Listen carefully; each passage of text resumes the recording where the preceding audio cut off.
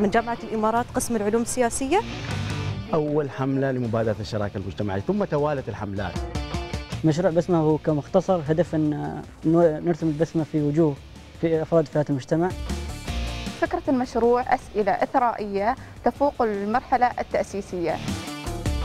المشروع عبارة عن تأثير تغير المناخ على أصناف الشجر النخيل.